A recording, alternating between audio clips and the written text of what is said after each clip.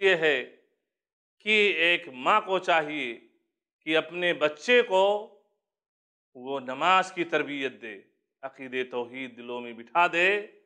उसके बाद में उसे चाहिए कि नमाज़ अल्लाह के रसूल सल्लल्लाहु अलैहि वसल्लम की वो सही हदीस, जिसको इमाम दाऊद रहमहुल्लाह ने अपनी कुतासवन नबी दाऊद की किताब सलाह के अंदर ज़िक्र किया है, अल्लाह के रसूल सल्लल्लाहु अलैहि वसल्लम इरशाद फरमाते हैं, मोरू औलादकुम बिस्सला वहुम अबनाउ सबा सनीन वदरिबुहुम अलैहा वहुम अबनाउ अशर सनीन वफ़र्रक़ू बैनहुम फिल मवाजे अपने बच्चों को जब वो सात साल के हो जाएँ तो तुम उन्हें नमाज़ पढ़ने का हुक्म दो।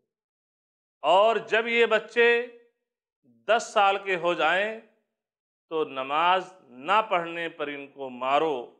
व फ़र्रक़ू बैनहुम फिल मवाजे, और बिस्तर इनका अलग कर दो। दो बच्चे हैं, दो भाई हैं, दो बहनें हैं, इनका लिहाफ, इनका बिस्तर अलग कर दो, ताकि किसी किस्म की अखलाकी, गिरावट अखलाकी बीमारी इनके अंदर ना पैदा होने पाए।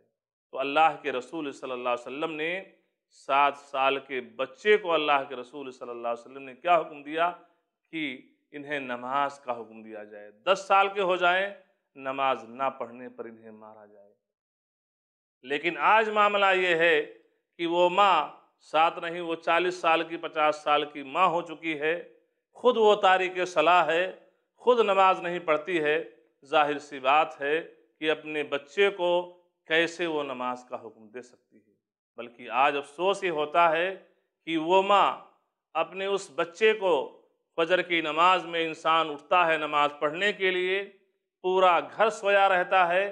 आप जिस सोसाइटी में रहते हैं, जिस समाज में रहते हैं, जिस बिल्डिंग में रहते हैं, देखिए नमाज़ फजर के लिए जब इंसान उठता है तो कितने उसमें रहने वाले हैं, लेकिन चंद गिने चुने फ्लैट की लाइटें ऑन होती हैं, बाकी पूरे लोग सोए हुए हैं।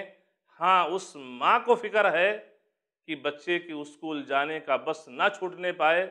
उस वक्त पर वो उठती है और उस बच्चे को बस स्टाफ पे लेके पहुँचती है, लेकिन उसे इसकी तोफीक नहीं होती कि ख़ुद वो नमाज़ की पाबंद हो और अपने बच्चे को नमाज़ पढ़ने की आदत डाले।